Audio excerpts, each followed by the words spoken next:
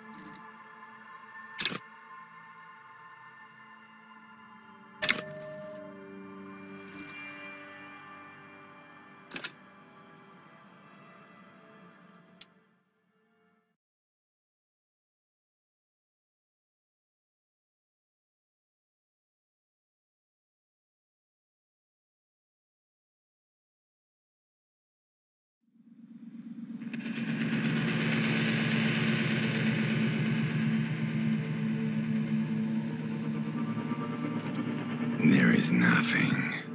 Only warm primordial blackness. You're conscious ferments in it. No larger than a single grain of malt. You don't have to do anything anymore. Ever. Never, ever. An inordinate amount of time passes. It is utterly void of struggle. No ex-wives are contained within it. Yes, it is. An awareness creeps up on you. A mass lies hidden in your dead angle, soaking in some lurid acidic sauce. It's bloated and shameful. Ball of meat surrounding you. This is a terrible line of questioning, and it will only lead to more awareness of the meat thing. Ex-love, ex-tenderness. It is foolish of you to resurface to the loss. Not after all the damage you've suffered to get here. Some of it irreversible. Stay. Sail with me through the abyss of pelagic zone. All right. Nothing town to fuck all borough. Great choice, Elder One. It has always been like this, and it always will.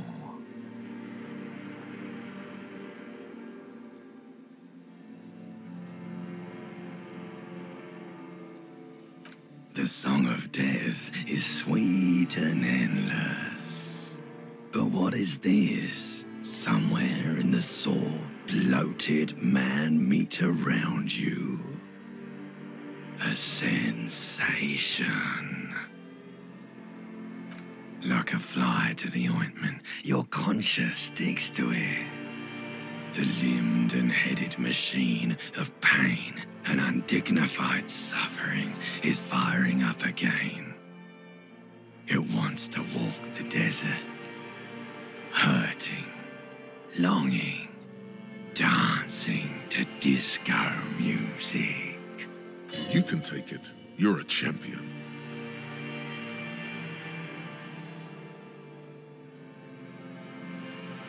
The stench of liquor rises from your mouth, and with it, an ungodly headache.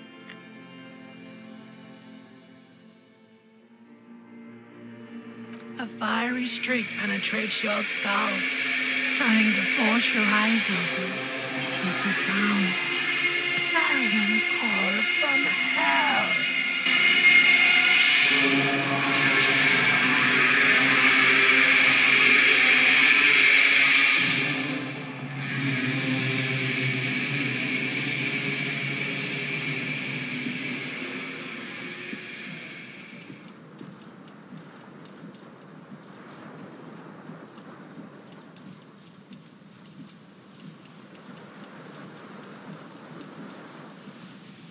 This fan has two chain pull switches.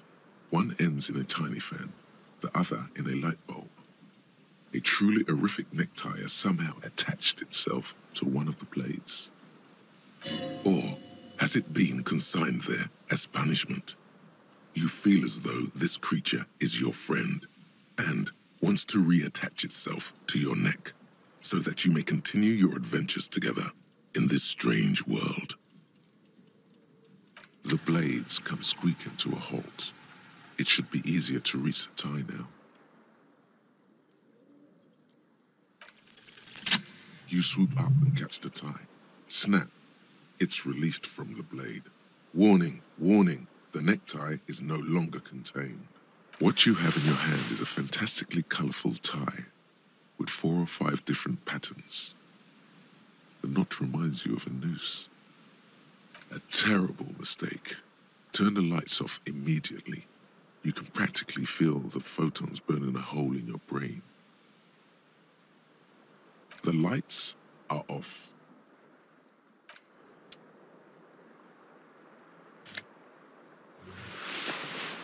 You hear a jingle. Keys are clinking in the pocket of your flare-cut pants. It says, whirling in rags, on the aluminium keyring. There is a single key on the ring. The number one is etched on it. It should open the door.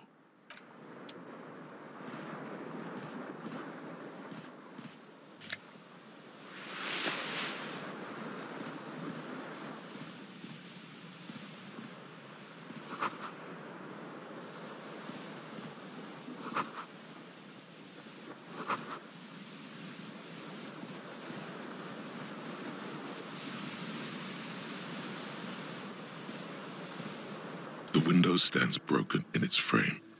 Cold wind blows in.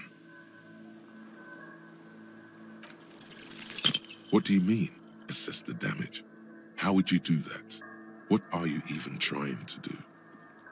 The morning light hurts your eyes.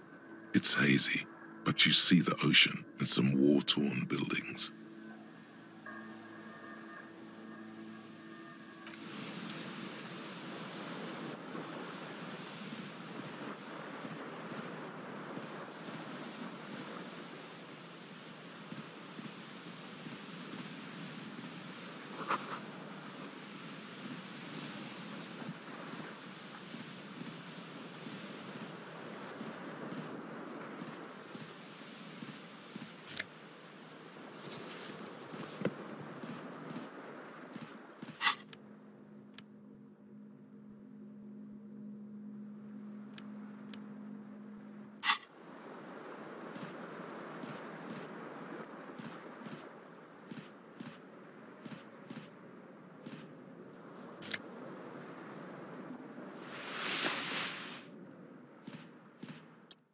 A above a bent and broken sink.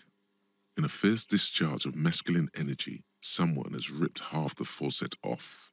Hot water sprays from the base, and steam covers the mirror. You cannot see yourself, just the outline of a man. Suddenly, you realize you have no memory of the face that awaits you there, underneath the soft vapor. As you slowly reach your hand towards the surface of the mirror, abort, you clearly have not thought this through. You won't like what you see there, and you will never unbecome it. Behold. You have no idea who this thing is, do you?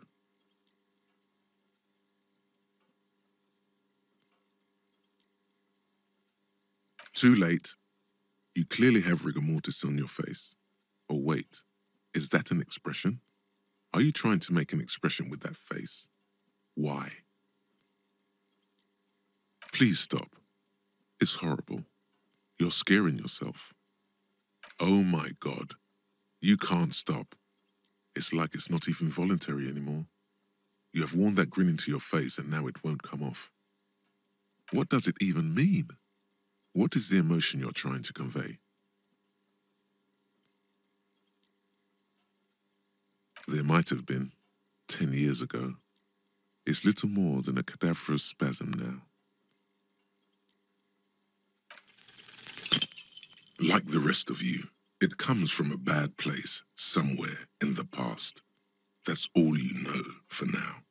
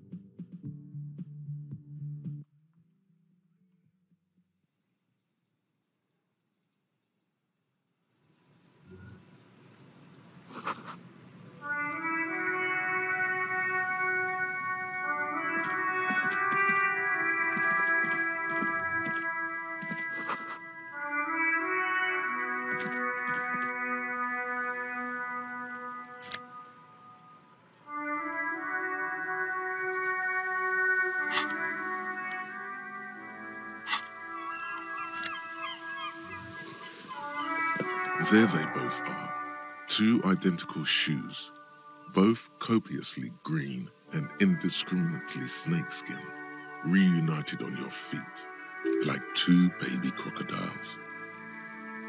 Good, they're balanced, comfy. Feels like the only good thing about you right now, truth be told.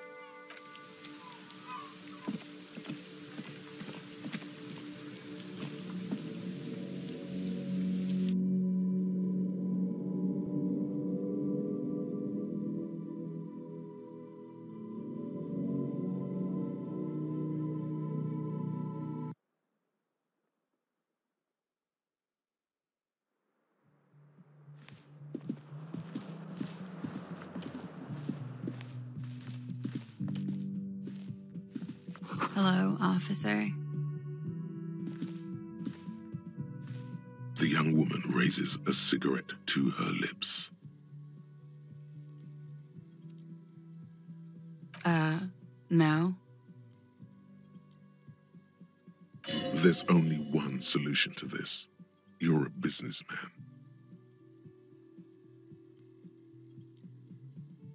Because you're a police officer, sir. I'm not. Unless you've been shitting us all this time. You've been here for three days. On official police business, no less. I couldn't say. In truth, so far, mostly drinking.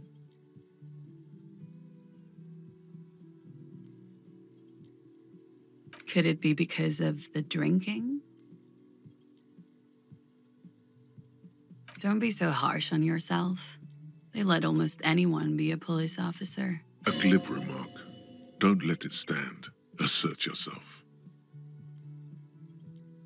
A fondness for contradictory statements.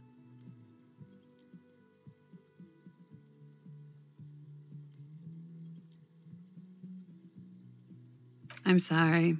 I was being glib. I'm sure you're a great cop. No, she's not. Reassert yourself by being flirtatious. Of course. Be careful, officer. They don't like the police around here. She looks back at you, a light glinting off her eyes. Goodbye.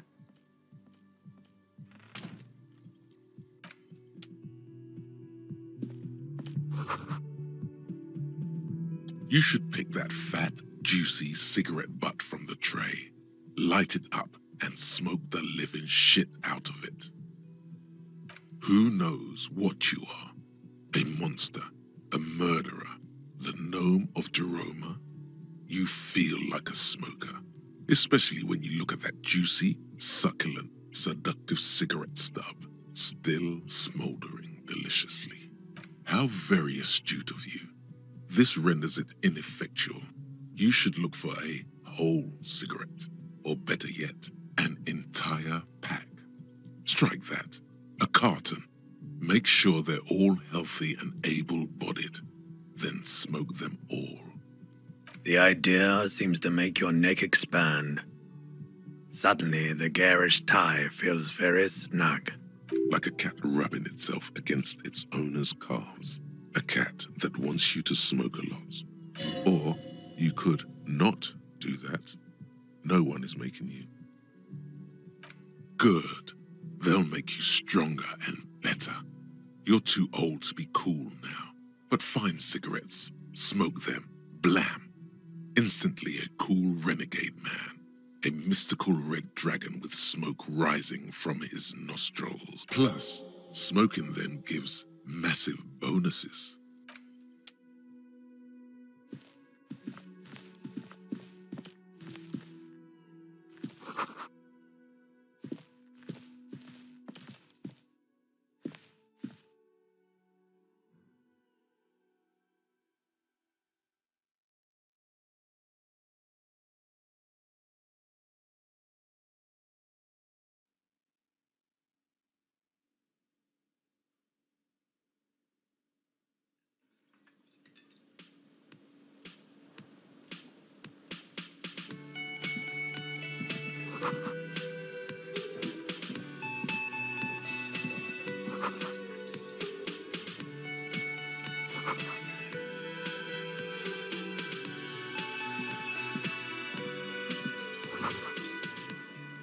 You should totally sing karaoke here, the first chance you get.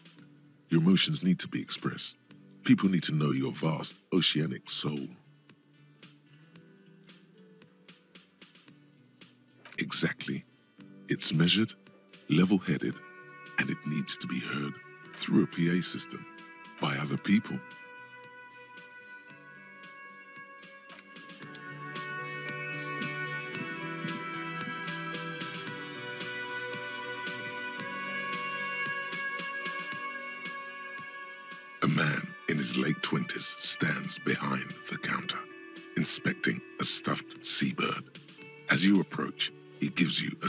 Sideways glance, then looks down again.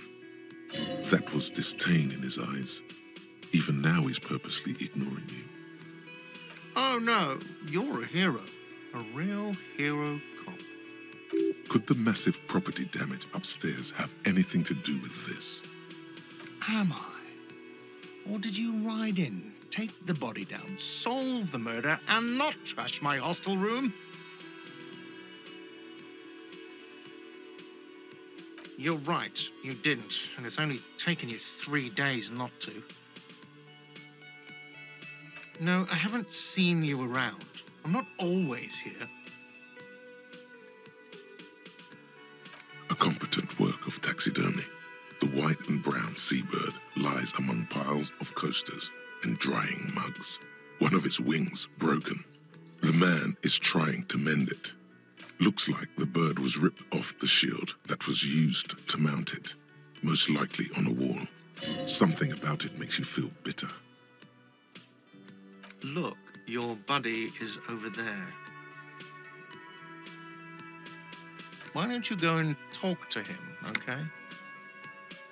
He pretends not to hear you, concentrating on the bird instead. No, I'm not the bartender. I'm the cafeteria manager. I have three cafeterias to manage. Three. Sylvie tends the bar here, not me. I'm only standing in. She just, you know, There's something there, and it's not good. That's all you know for now.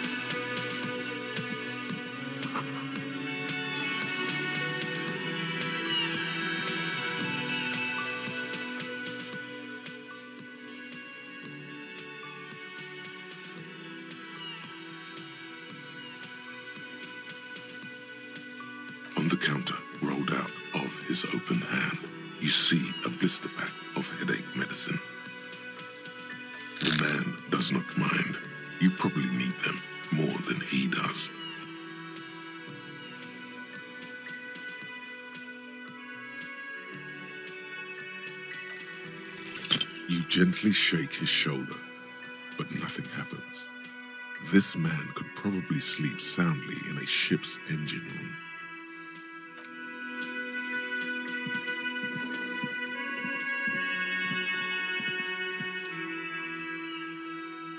A bespectacled man in an orange bomber jacket is tapping his foot on the floor. Looks like he's waiting for someone. You, as you approach, he narrows his eyes and extends his hand in greeting. If an assault were launched on this building right now, windows came crashing down and the whole world descended upon you, this man would hurl himself in death's way to save you. You are sure of this, but why? Hello. I'm Kim Kitsuragi, Lieutenant, Precinct 57. You must be from the 41st. You realize he's waiting for your name. This is your chance to come up with a really good name for yourself. Get creative. Conceptualize. Concentration makes you squint your eyes. Your name should be deep gold and orange, like a forest fire looming on the horizon, but mixed with the stench of liquor rising from your breath. You're two steps closer to it, but there are still many to go. Okay then. It looks like we had a little scheduling error on Sunday. Saturday too, actually. Have you had time to talk to the manager here?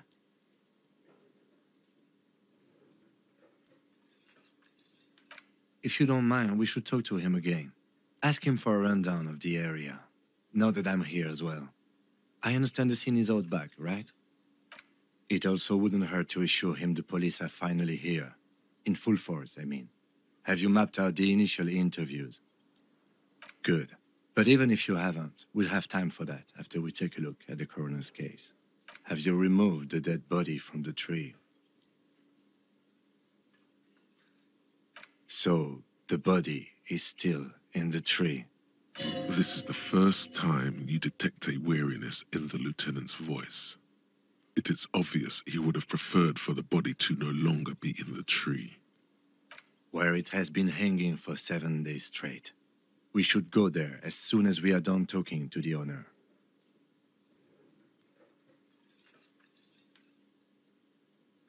After you, officer. If you're about to embark on an investigation, shouldn't you have a badge? You mean you don't have a badge?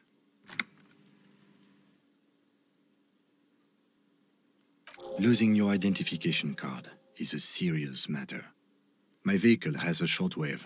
You can use it to report your badge missing. I advise you to try to locate it as quickly as possible, but getting the body down should still take precedence.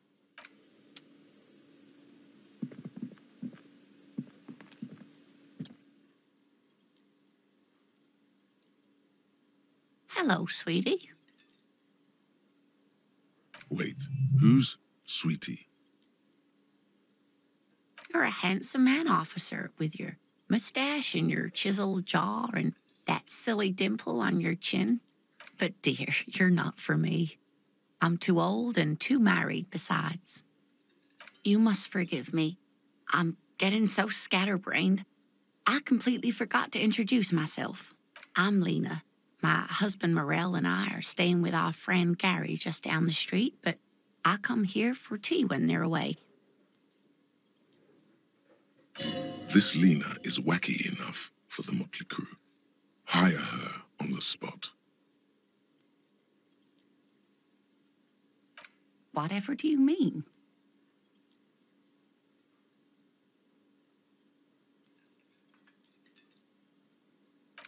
Sequence killers? Oh my. But I think you already have a partner, sweetie. A partner who needs you to help him get a corpse down from a tree. I can assure you with absolute certainty there are no sequence killings taking place in Martinaise. Now, gentlemen, no need to squabble. I wouldn't be of much use to you anyway, sweetie. Thank you, but Martinaise isn't the most wheelchair accessible place, you see. I'd slow you down. Perhaps another time. Yes, officer. You look rather dazed. Like a stunned fox. But surely things can't be that bad.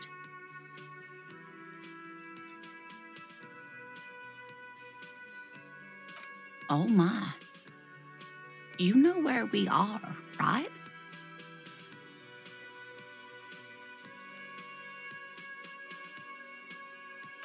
It does still look like that in some parts of the city, doesn't it?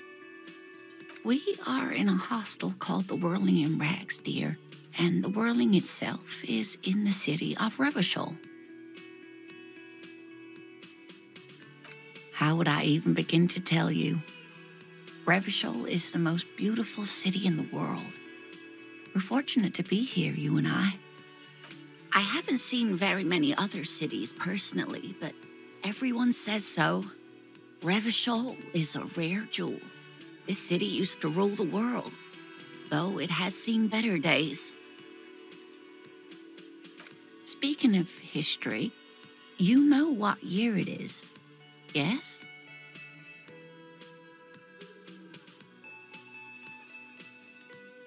Perhaps, dear, perhaps. But for now, it's just the spring of 51. She is perturbed by your not knowing what year it is, but not by your mention of the apocalypse. It must be the end times. The lieutenant studies you, rubbing his chin. I'm beginning to suspect that you might indeed be completely adrift in this reality, thinks the lieutenant. How can it be that bad? Never mind. We're in this now. I can tell that this is taxing for you, so I'll just ask one more question. What regime are we living under? What mode of government?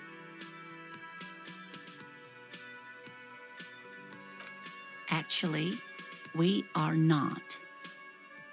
You could say that about almost any other nation, but not Revachol. Try one more time, officer. What mode of government? Damn it. I was really hoping it would be a cop world. Okay, well, let's see.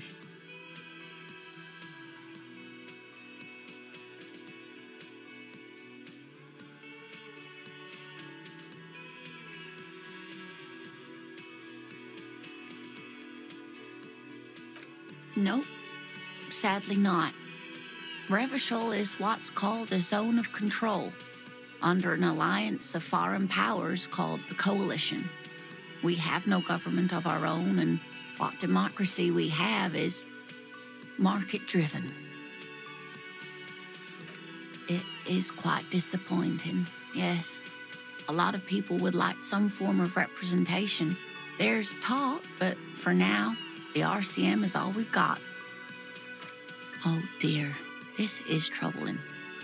You really ought to know that, being one yourself. There aren't any cops in Revachol, not in the traditional sense. The status of law enforcement has been a complicated matter since the revolution. But we should stop for today, sweetie. You look like you need a break. Besides, I'm not the best person to explain the big things to anyone. She's scared now. She's realized you really are brain damaged. A defeat, I'm afraid. The people of this archipelago tried to build something new, something different. The rest of the world didn't like it, so they came and ended it. This was 42 years ago. It has something to do with everything. I really don't know how to explain it better. I'm just a poor woman, she thinks. What do I know of these things? And how can I help you? Someone more educated in sweeping matters. Maybe you should ask. No, I'm not an encyclopedia. I won't be a guide either. I'm a detective. Of course. Then I don't know. Someone rich, maybe? Wealthy people are educated, though I don't know where you would find a wealthy person in Martinaise. Of course, dear. Good luck with your case.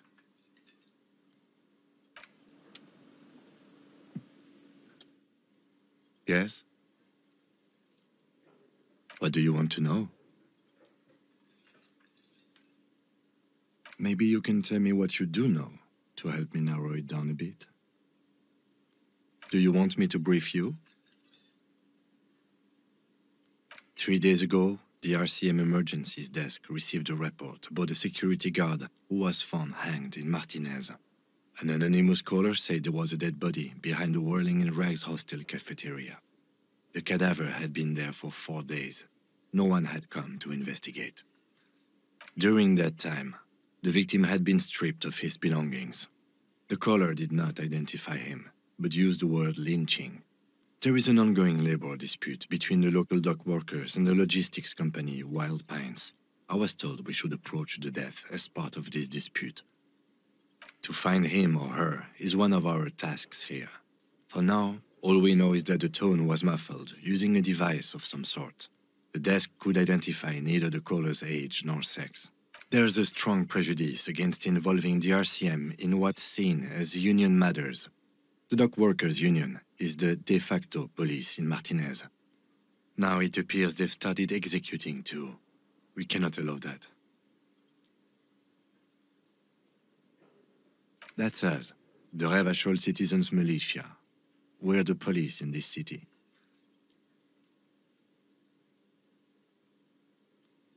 Just to be clear, we are police officers. It's our job to find the killer. That's the case. Uncover and arrest the killer.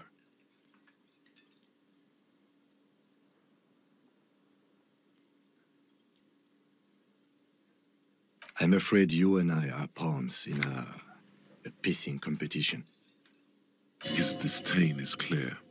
This man would not use such an expression otherwise. You don't know? I assumed you were in on it. Better still than an imbecilic cop-off. It's just stupidity. We shouldn't waste any more time on it. If you want my take, ask me after we've inspected the victim. Was there anything else you wanted to know about the case? No, it's not a particularly mysterious case.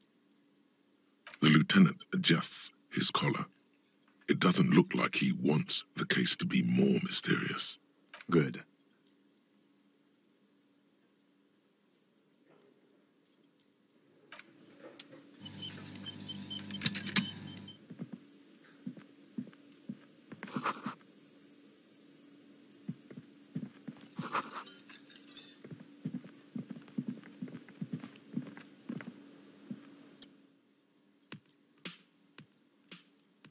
The man with the unimpressive beard notices you approaching. He drops the ledger he was holding and turns to the lieutenant. Mr. Garte, right? You run this place. Yes. I am Kim Kitsuragi from Precinct 57. This is an inter-district investigation, so joining me from Precinct 41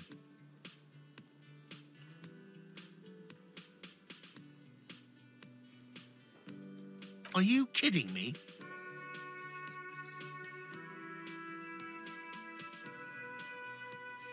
It's you. It's obviously you. You smell like liquor. And you're orange. See? Everyone agrees it's your color scheme. We're on the right track with this name thing. Is this what you get when you call the police now? We've been waiting for a week here. Sir, I understand your concern, but we are here to do a job. And for us to do it, I need you to stay calm. Yes, of course. For a moment, the cafeteria manager fidgets under the lieutenant's gaze. Then he gives in. I know it took us a while to arrive at the scene, but it also took you a while to call us.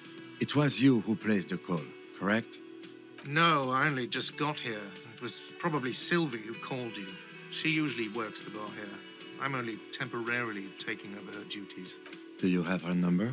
As a matter of fact, I do. You said you just got here. From where? Are you a local? What, of Martinaise? No. I live in Jamrock. I only sometimes come here to keep an eye on the place. This is just one of the many, many cafeterias I manage. But you still know your way around, yes? In case we need directions. Yes, I know where some things are, but as I said, I don't live here. I just used to work here. And I'm not going to start working here again, if that's what you think. I didn't imply that. Detective. It's your turn. Yes, yes. He means, do you have questions for me, like a police officer would?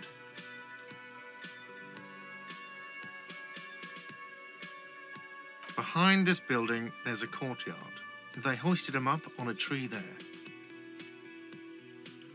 That's easy. See that door there? First, you exit through that. Then, to your right, you should see a big hole in the fence. A really big one. You can get to the courtyard through there. No need for the keys. The hole is big enough for the Franco-Nigerian cavalry to fit through. Does he want you to feel guilty of making that hole? It's implied in his voice. I don't know who killed him. I'm not the police. That's your job. What are you, crazy? Of course I didn't kill him. She went away because none of your business. Oh my god, what is your obsession with this Sylvie person? Get over it. Maybe it's he who's obsessed with this Sylvie person. Certainly sounds like it. Let's go. Not so fast. You owe me 130 real. No one is saying the multi-pattern necktie you found tied to the ceiling fan can talk. No one. It must be merely imagination. Let's bail! Time to push the eject button! Sounds like a responsibility! You don't like those! Oh, you don't owe me shit. Well, officer, you're right. You don't owe me shit, you owe me money. We do not need to assert ourselves here. We only need instructions from him. This is the proprietor, remember?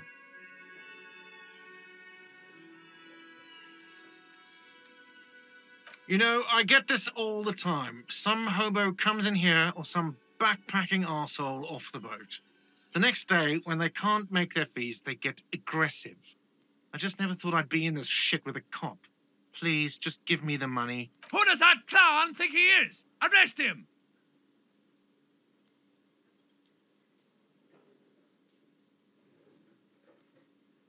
Let's see. Three nights at a tariff of 20 real comes to 60 real. Then there's the window you annihilated. The hole in the window was the first thing I saw when I came to work. So don't try to tell me you didn't. That will be 40 real in damages. Another thing you've annihilated is half the bar. You've run a tab of 30 real. Actually, more, but we'll round it down to 30 for your hard work maintaining the stability and order of Revachol. That's 60 plus 40 plus 30 equals 130 real. And yes, real is still money. What are you, brain damaged?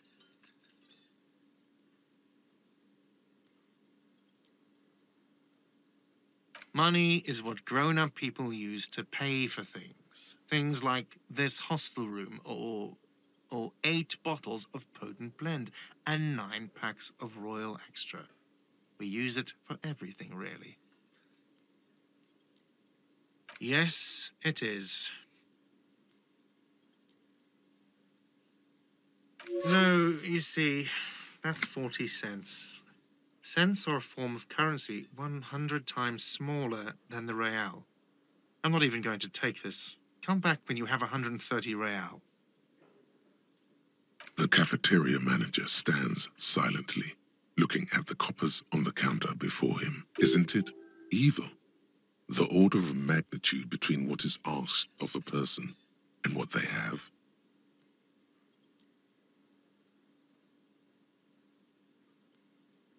It does, doesn't it? There's a shuffle of nylon as Lieutenant Kitsuragi looks for something in the pockets of his orange bomber. That's Cop 4, I haven't offered to pay because I don't have any money either. I'm sorry, but he has to pay. I can't let him stay here any longer if he doesn't. If he doesn't have the money by tonight, then Officer, maybe you're better off working this from home for now. You live in Jamrock, right? It's not that far away. I'm sorry I couldn't help more. You should take this up with your station. I have a shortwave radio in my car, okay? We have to get this investigation started now. good luck.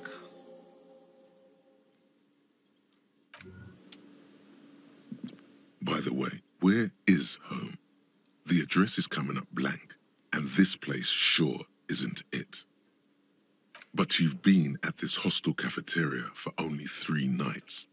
Where were you before? You had to be somewhere. In time or space? That doesn't sound like somewhere you can stay if you run out of money.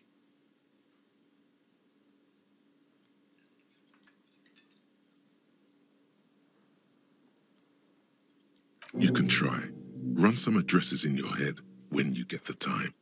Maybe a street or an apartment will appear.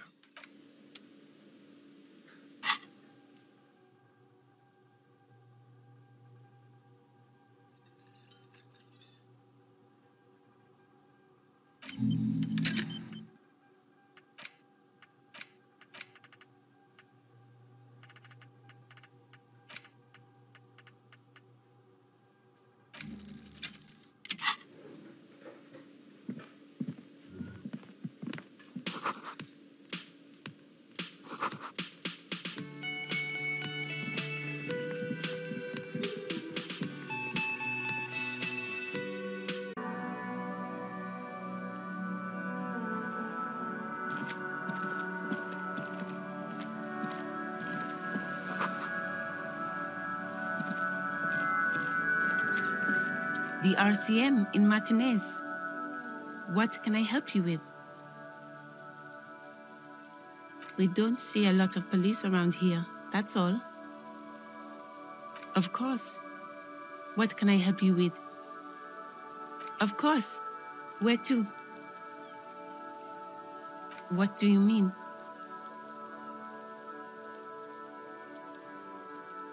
Yes, sir. District of Martinaise. This intersection is called Roundabout North. He knows where we are. He just wants directions.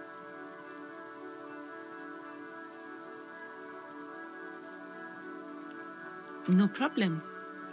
Me? I am just a gardener.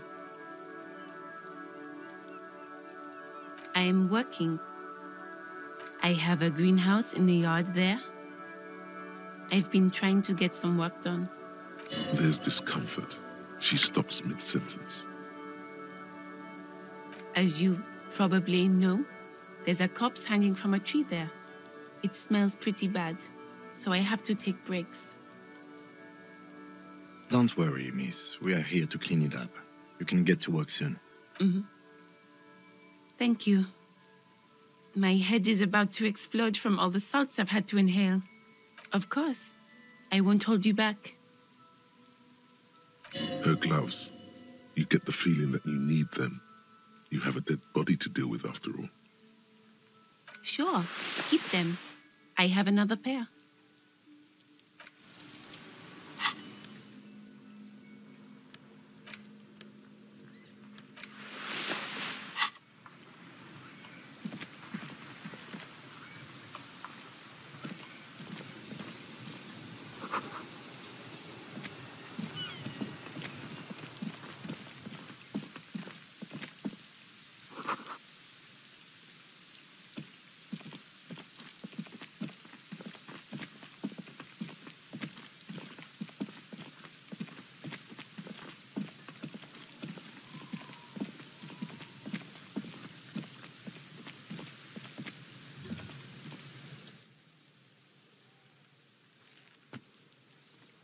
Cuno's got this.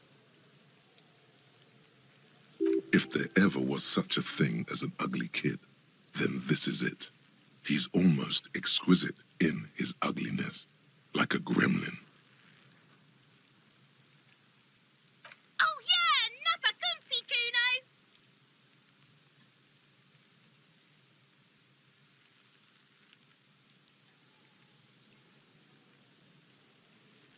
talk, pig.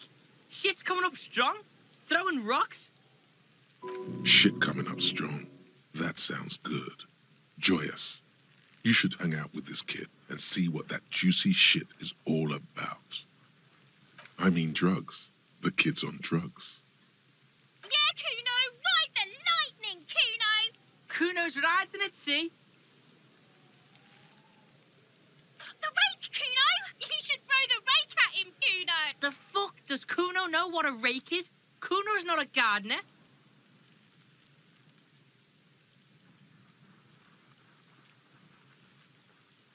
Fuck no! That shit. Fucking entrapment shit.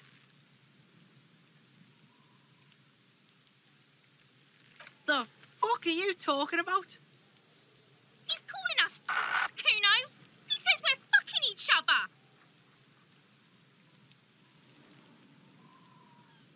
All right, entertain the Cuno. Show me what you got. What you got there? What you shitload pig? What's your question? Don't tell the pig shit, Cuno!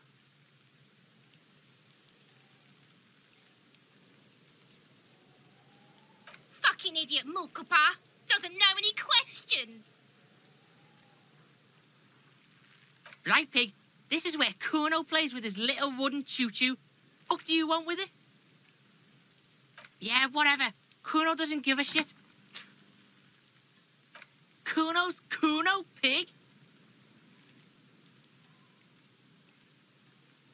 Yeah, Cuno's in a fucking gang. In a bang gang. Cuno bangs for Magie, bangs for Mazda, bangs for Revachol. He lays the names out there with pride and precision, like cards on a table. Right when he's getting distracted, there's a malevolent hiss behind the fence. Watch out, Cuno! He's trying to fiddle you! He's gonna put his hands on you! Help! Pig's got Cuno! Help! Rape! Help! He's got the Cuno help! Yeah?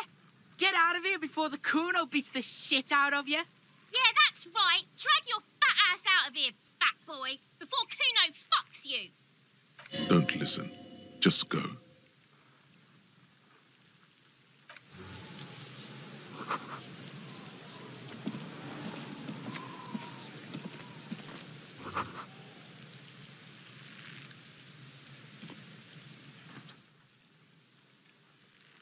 The corpse looks at you with bulging white eyes.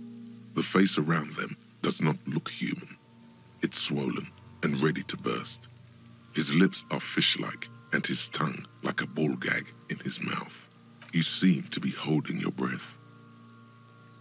A cargo belt twists his neck at an unnatural angle. The body below appears stiff. It's letting out an ungodly rot. The smell seeps in even through your clenched nostrils.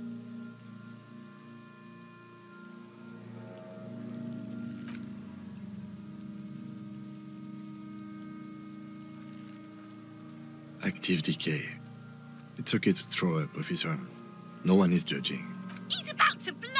Cop's gonna blow, Cuno!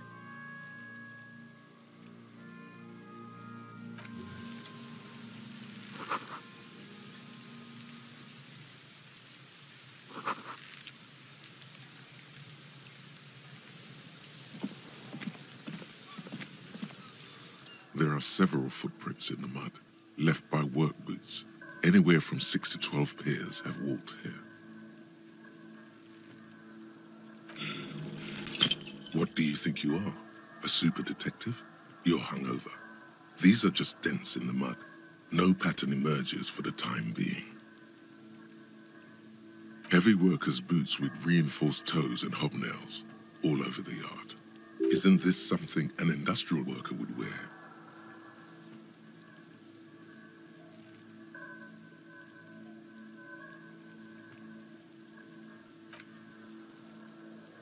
Noted.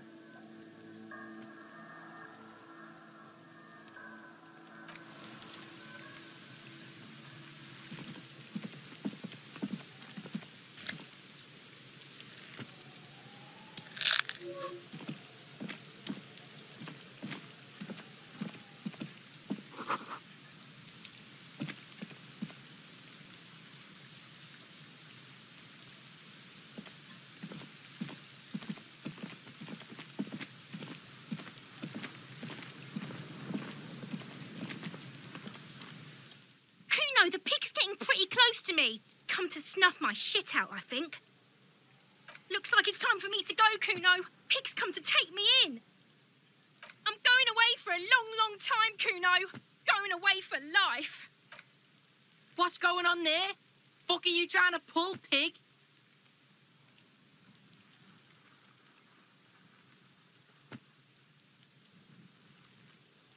I come from the woods, good You don't want to go there with me. You don't want to see what I've seen. Don't be traumatizing here. Get the fuck out of here.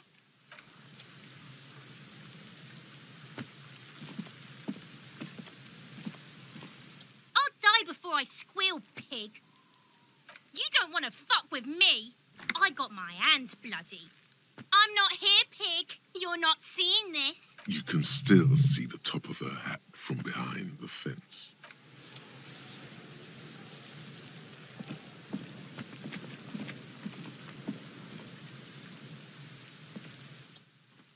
This trash container is locked. The sliding lid has a padlock that says, whirling in rags. There's something in there, not necessarily connected to the case, but still. The body is downwind from here.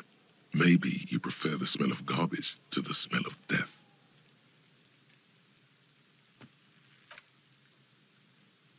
Trash, food waste from the cafeteria. They lock these containers to keep the derelicts from flocking in. Could be evidence, too. Mm-hmm. We could try using a pry bar. There's one in my motor carriage, or... Or we could ask for a key from the manager of the Whirling in Rags. He probably has one.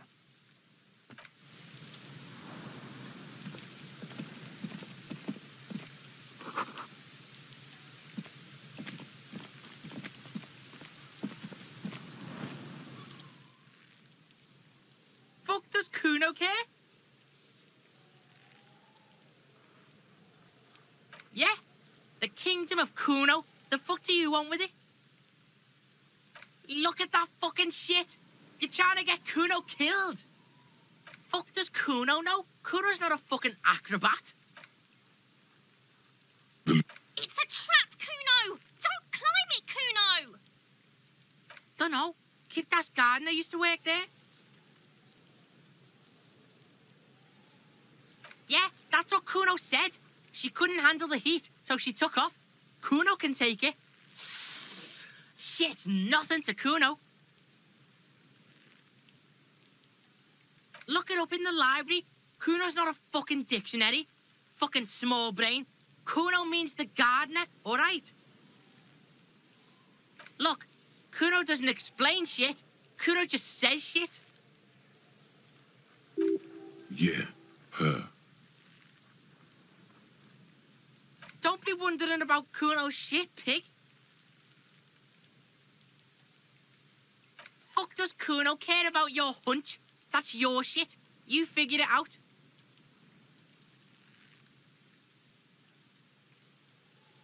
Yeah, whatever. Cuno doesn't give a shit. He's on your crime scene, bossing you around. And he's been here for some time too. This is where he hangs out. You have to get more out of him. He could be useful. Trying to fuck at the Cuno. Trying to fuck at me. Trying to fuck. Cuno only gets higher. It's faster, faster, faster. Can't take the Cuno. Stay out of the reactor. Cuno gonna fuck you up. Up, up, up. No, Shitload pig. What's your question? Don't tell the pig shit, Cuno. Fucking idiot Mulkapa. Doesn't know any questions. Cuno doesn't fucking care.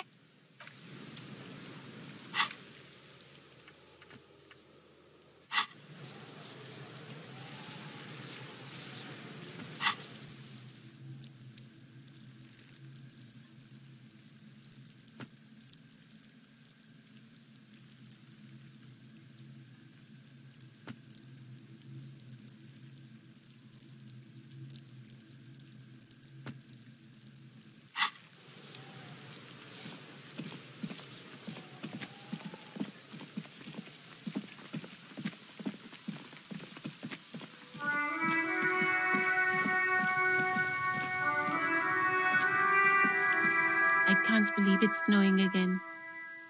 It felt like springtime just a few days ago. Excuse me? She's uncomfortable. Maybe you should drop this line of questioning. Oh, well, I didn't write it there. I'm just sitting here. Okay.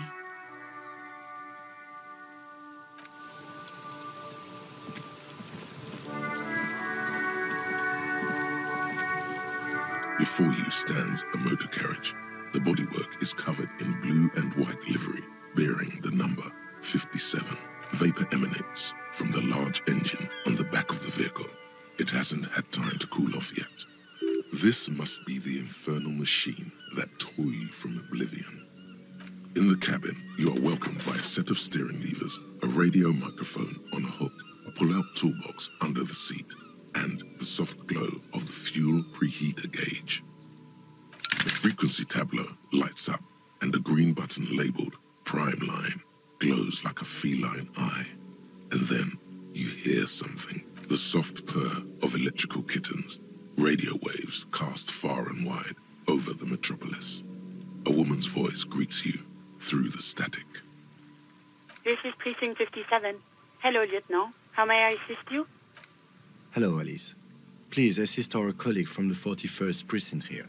I'm putting him on. Operating the radio is easy. Just be confident. You've probably done it a thousand times. This is Officer Alice Demetri, Precinct 57. How may I assist you?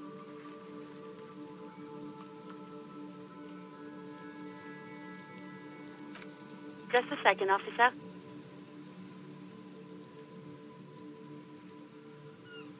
Ten two, ten five. This is 41st. Uh, come in. Over. A scrawny old man sits in a dusty cubicle, smoking, with a large white rectangle sewn on his vest.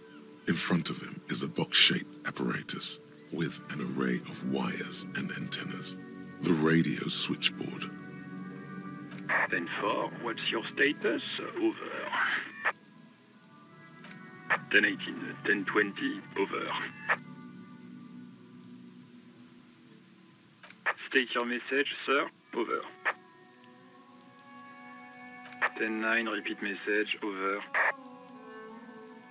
Ten four. Message received. This is a very serious situation. I need to ten twenty to the captain. Over. Is it him? What does he want? Says he lost his badge and needs to report it. He what? He lost his badge? Who lost his badge? Dick fucking Mullen. Who do you think?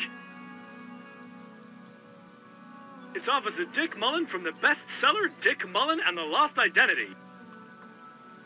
Dick Mullen is not your name. It's the name of a fictional detective who would not lose his badge. Defend yourself. Immediately. They're laughing at you.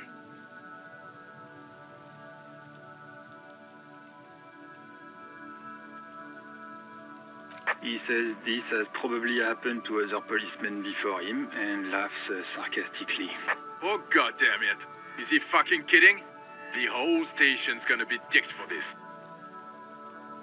Satellite Officer Vicquemare is wondering if you might be joking and adds that this tarnishes the reputation of the entire station. Over. Mullen dicked us. 10-4, I hear you, officer. I'm just going to make a note here that you are in pursuit of your misplaced badge. Over. Fuck me. Mac, come here. You've got to hear this. Dick Mullen lost his badge. What's going on? Super Cop there lost his badge.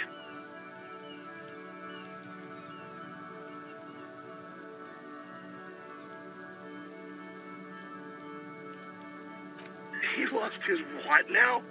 His badge. He lost his goddamn fucking badge. 10-9, come again. I didn't get that. Over. New heights even for Captain Sober. Ask him. Ask him if he's lost his gun, too. Sergeant Torson wants to know if you lost your gun too. Over. Check your pockets. Check your. Holy fuck. You don't know where it is, do you? No. It's gone. It's not fucking on you. Don't sweat it, Bratan. You don't need a gun to have fun. We can still have fun. It's not all over. 10-9, coming officer. Did you get my question? We were wondering about your gun. Over. Even before you can get the words out, everything gets scrambled in your brain. He says he didn't lose his gun. Or his fun, whatever that means. Ask him to describe it. His gun. Not his fun. Just the gun will do. Satellite Officer McLean requests a description of your weapon. Over. Oh, request a description, huh? We'll give him one. Describe the plasma gun.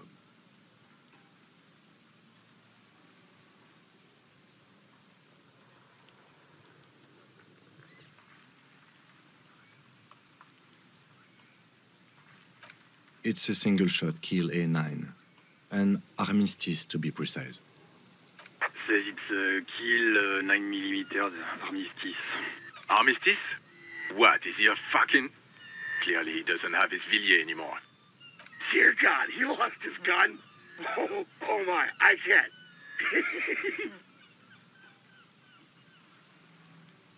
This isn't really a laughing matter.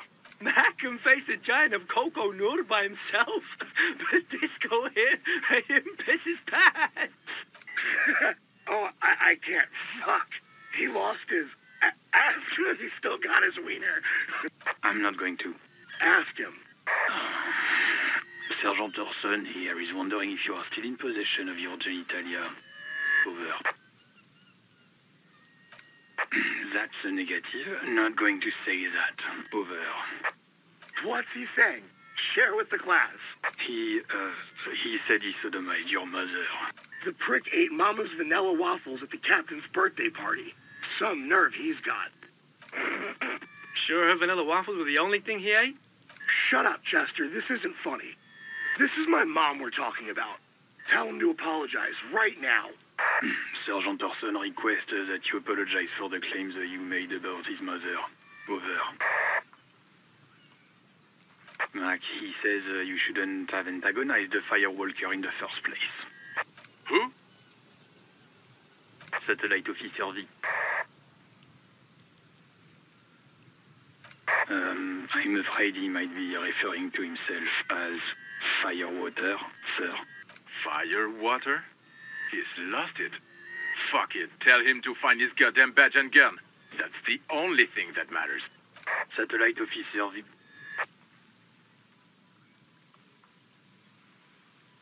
Ten four affirmative. Officer is in pursuit of his firearm. Oh, God, I. Ah. Officer, do you need further assistance? Over. Ten four, I hear you. I don't have the authority to grant your request, but What does he want now? he's asking for money. Is he fucking kidding? I don't think he is. Don't give that asshole anything. He's just gonna drink it all. All right, uh, that's a negative on the additional funds, sir. Over. He says it's important to the case. He isn't getting a red cent. You can tell him that. Request denied, sir. Over. he says he's in trouble. Doesn't have a place to sleep. Well, I guess he'd better crack the case before sundown then. Uh, Vicquemare said Enough, officer. This begging is below your dignity.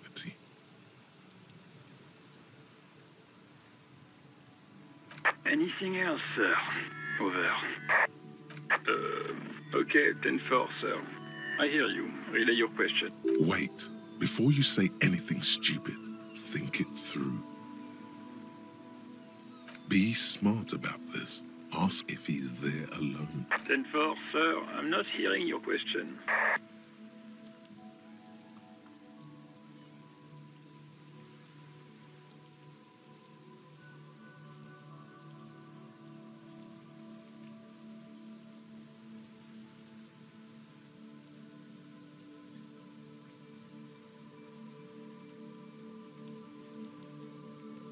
10-9, repeat message. I didn't get that, sir. Over. Uh, what? What is it? He seems intoxicated and keeps asking me to call him by his name. Mullen's drunk and emotionally aggressive. That's new. Wrap it up. Don't indulge in his drunken antics. What? What is it? He wants to verify him. But of course, it says Dick Mullen. Tell him to stop wasting. What do you need, sir? Over. That's a negative, sir. I got a 10-12 here. Over.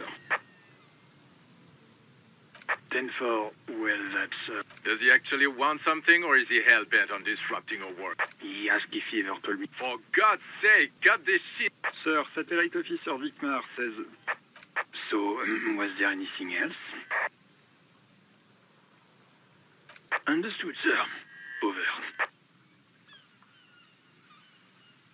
Roger that. 10-10. Over and out. 18 kilometers to the south, in the 41st Precinct's relay booth, a small crowd has gathered around Communication Officer Jules Oldboy Pidieu. The small room is filled with cigarette smoke, a buzz with laughter when Officer Judit Minot enters. Her left arm is in bandages and her hair trimmed short. What is going on here? Did something happen?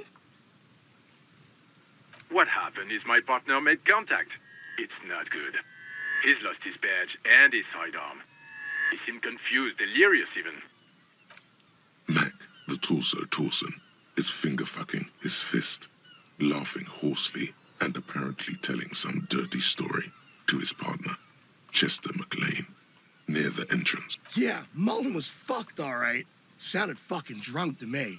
Yeah, Mack's right. This was some gnarly shit there. Enough! None of this is funny. It's fucking sad. That's what it is. He's a cop. He's one of us. Con- We must help him. yeah? How do you fucking plan to do that, huh? Get him off the drink? Go jogging with him in the morning and get him on carrot juice? He's a lost man. I just know we can't give up on him when he's at his weakest. He wouldn't. Mack, man the door. You know what he told me? I don't want to get better. I want to get worse. Those were his words. This shit does not leave this room. Not a word of this to the captain or anyone else. We'll give him a couple of days to pull his shit together. I guess I can hold off the report for a few days. Good. Okay, everybody. Nothing but a prank call here. We all got our laughs. Now get back to work. Far north, on the other side of the motorway, the officer quietly hunches with his hand in the motor carriage. A metallic drawer slides out from under the seat and clicks into place. The tools inside are neatly organized. Take what you need, officer. It's going to be a long case. I'm not protective of my tools, like some men are. He's clearly a little protective of his tools. But what can you do? Work is work.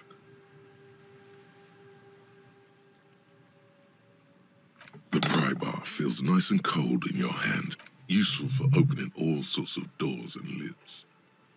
The pull-out toolbox slides back into its nest. Preheater gauge casts a warm glow on the steering levers and the radio on its hook. This is Precinct 57. How may I assist you?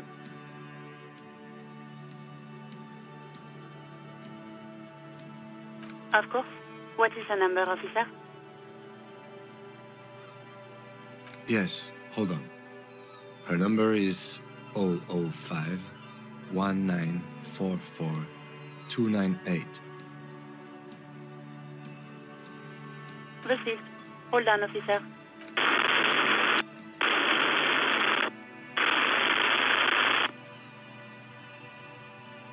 Lieutenant Kitsuragi slowly begins to tap a little rhythm with his right foot.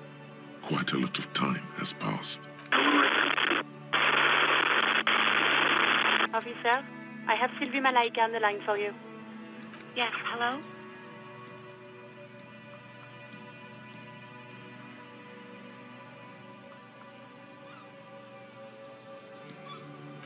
All right.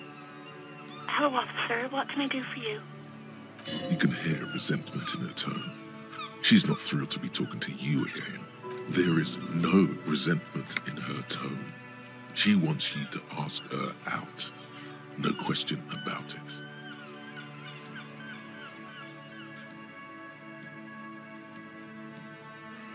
No, not me. No, sorry. I don't. not a lot of people have phones around here. Copper thieves take the wires. People don't have the money to have the cables put in again. They use the Union's phone, or the one on the coast. It was someone else. We'll find them sooner or later, officer. It just might take a while. Yeah, go on. Yes, I know who you are. You're a police officer. The law. Oh, no, I haven't, sorry. Real policemen have uniforms too, by the way. Where's yours?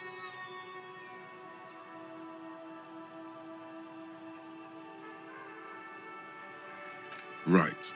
It's better to not ask too many questions, lest people start thinking you're a cop or something. Please, no. Not this again. Everyone saw your cool gun detective. You were trying to impress some people with it. Everyone was eating, and... Great. Anything else?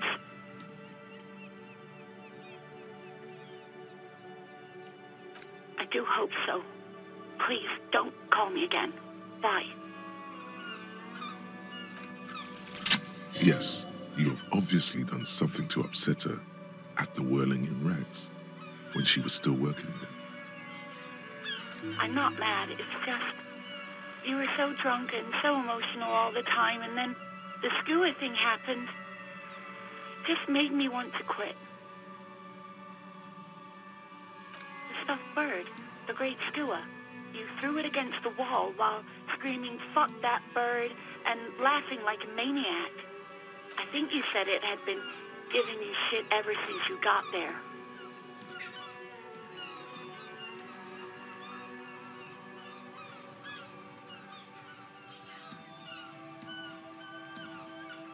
Yes, well,